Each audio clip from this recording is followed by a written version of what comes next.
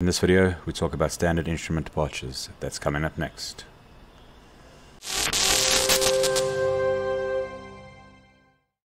Hello some pilots and welcome back to another Microsoft Flight Simulator video. Today we're going through the standard instrument departure. We'll look at a typical departure chart and then fly an example. So what is a standard instrument departure and why do we have them?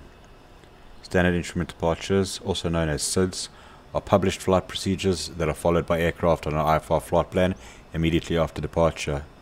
SIDs allow aircraft to depart in airspace following a predefined route, also sometimes with altitude and speed restrictions, that helps them navigate adjacent airspaces, terrain, and arriving traffic. So we are here inside the A32nx parked at London's Heathrow International Airport. I've set up a short flight from Heathrow to Amsterdam and we're going to demonstrate a standard instrument departure. So first things first what we need to do is have a look at our route and see where we are going. After leaving Heathrow our first waypoint is the Brookmans Park VOR. So by choosing which runway we're going to take off of, that will determine which standard instrument departure we use heading to Brookmans Park.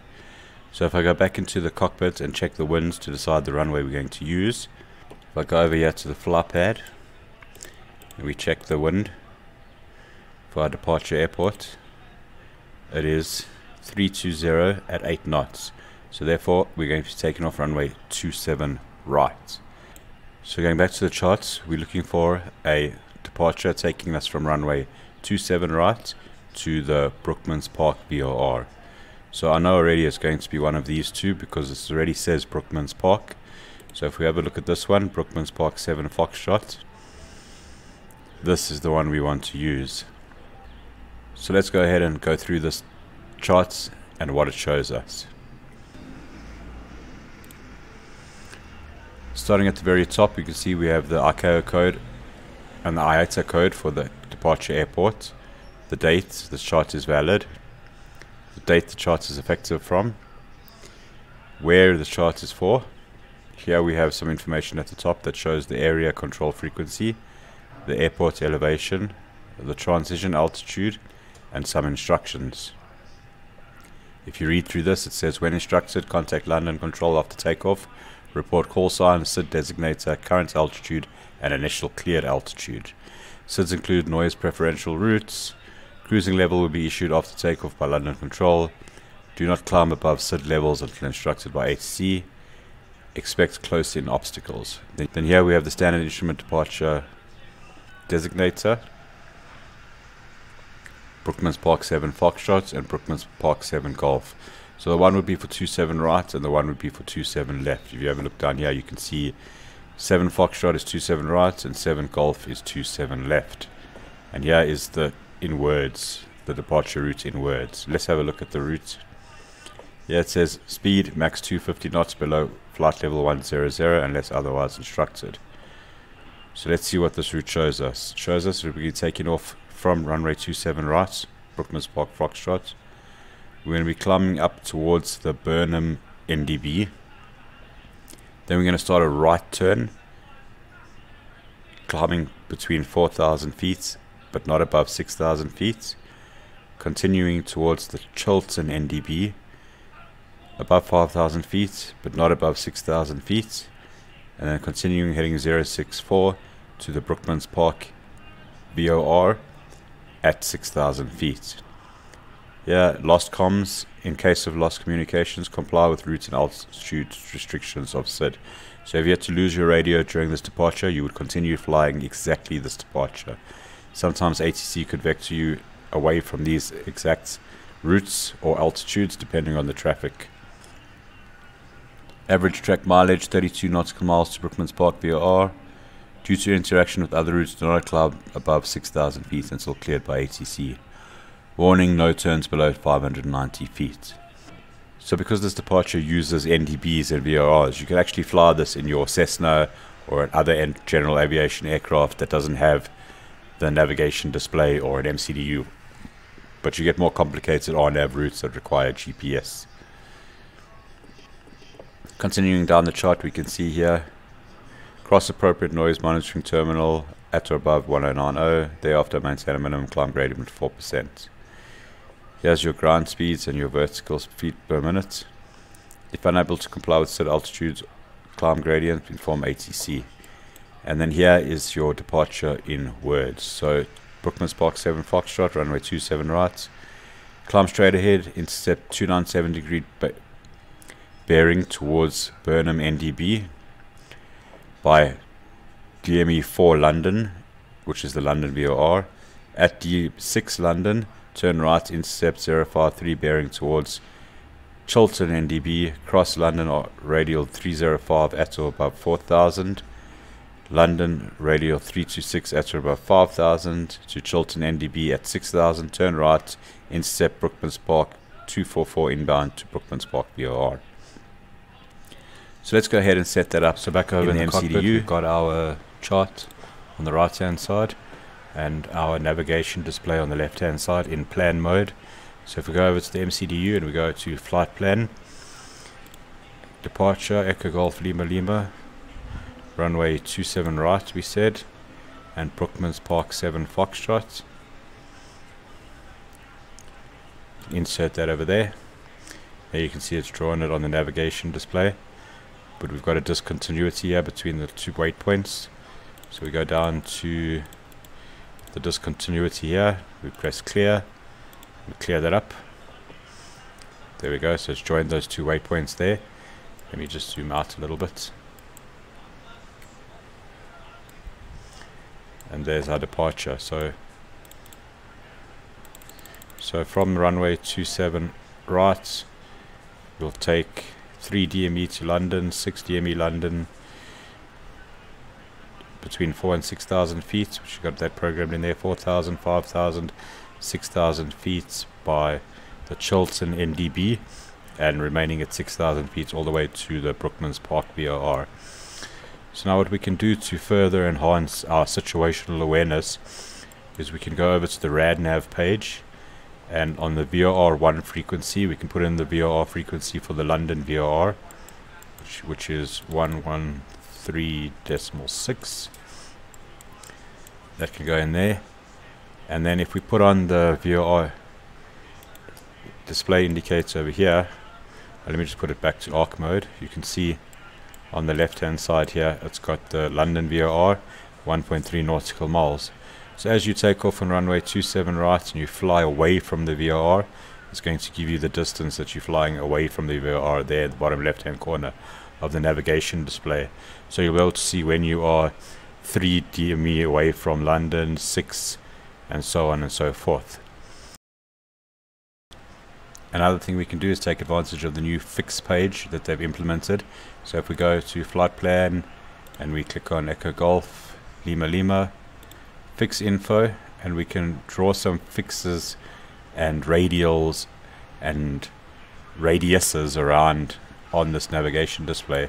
So let's start with um, the London VOR. So we'll put in reference fix 1 will be Lima Oscar November.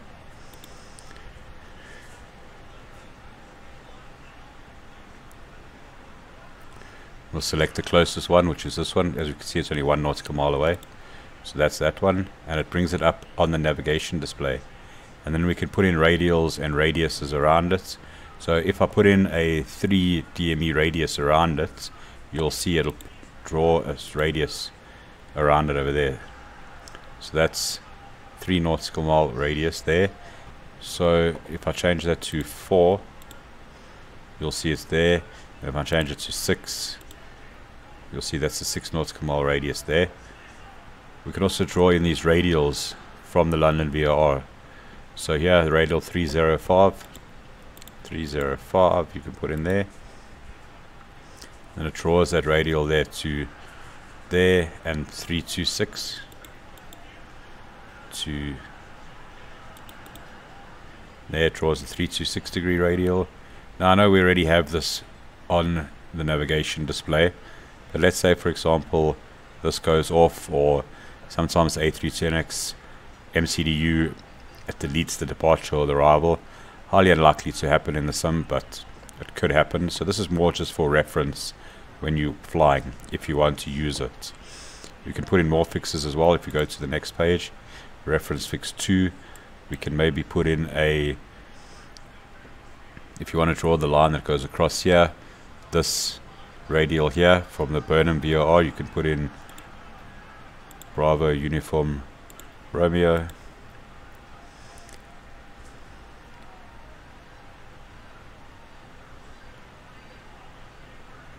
Select that one over there and there it pops up on the ND and you could have that radial if you want so you can draw the it's a 297 heading so the radial will be the reciprocal of that so it'll be 117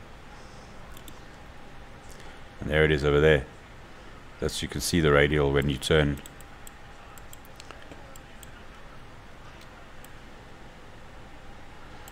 You'll be able to see that radial over there. So you know if this goes off you'll turn you'll have your DME here and you can turn right and continue the right turn. You can do it as well if you want to put in the Chiltern VOR you can put in the Charlie Hotel Tango put that in reference fix 3 there it is there. And it'll draw it on the ND over there.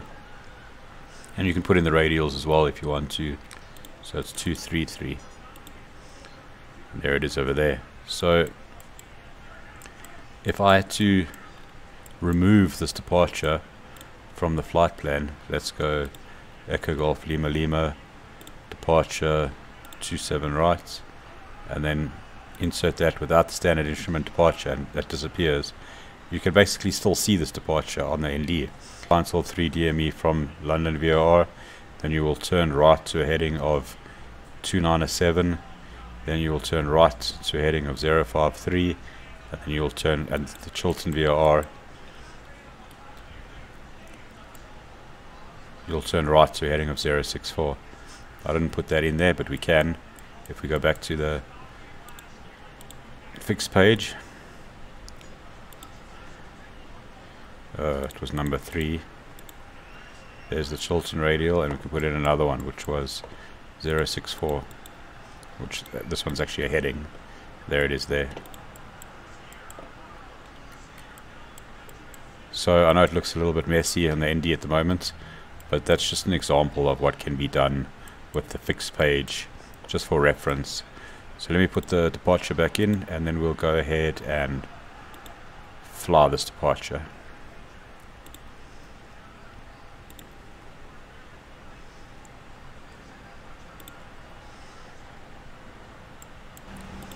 Okay, so here we are on runway 27 right. Just a reminder, so we're going to be taking off on runway 27 right. We're going to be flying to 3 DME London VOR. Then we're going to turn right to a heading of 297. We're going to fly towards the Burnham VOR at 6 DME from London. We are going to turn right to a heading of 053. Once we intercept the 305 degree radial of the London VOR, we must be above 4,000 but below 6,000. On the 326 degree radial, we must be above 1,000, above 5,000, but below 6,000. Then once we get to the Chiltern VOR we, at 6,000 feet, we're going to turn right to heading of 064, and we're going to fly to the Brookmans Park VOR at 6,000 feet. So let's take off.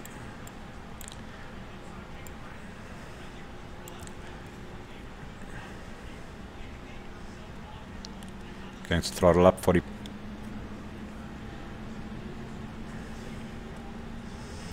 Toga.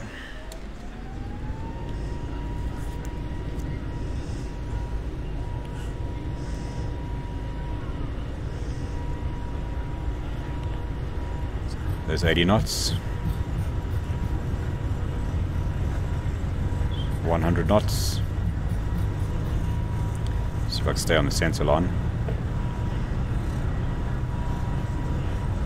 V1 rotates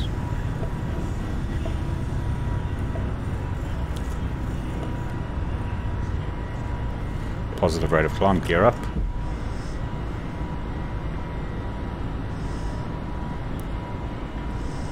you can see the, the increase in the nautical miles for the London VOR as we fly away from it.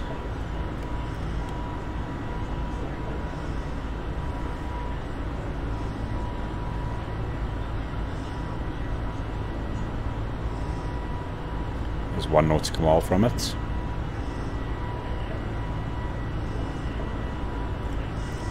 Set levers to climb.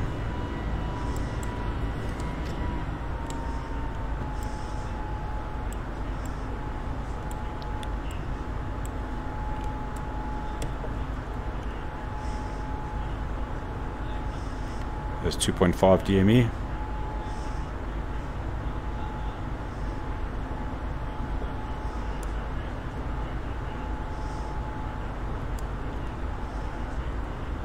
There's three, so we're gonna.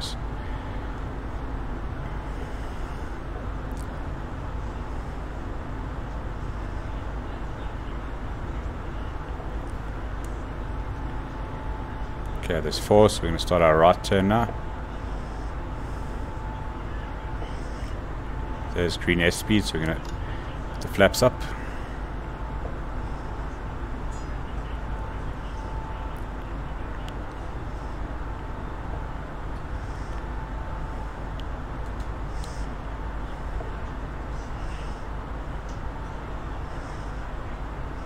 coming up on six miles from the London VOR, So we continue our turn.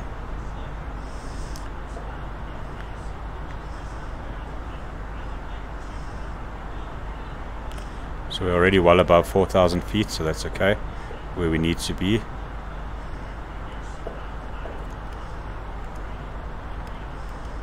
Pitch up a little bit. Got a bit of an overspeed going here, so we just want to slow back down to 250 knots.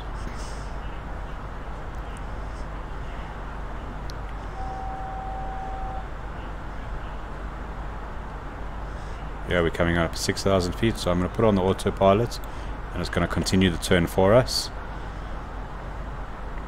Yeah, we're coming up to that first radial where we need to be above 4,000, but we're already well above that.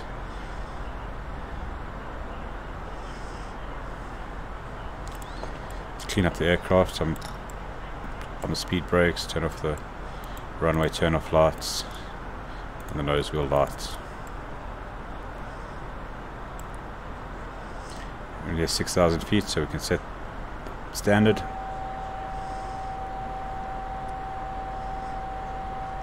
We're going to fly towards the Chiltern VOR where we need to be at 6,000 feet.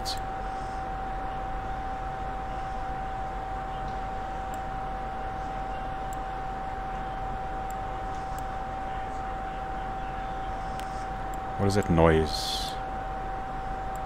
Oh, we've since we set standard, we need to climb.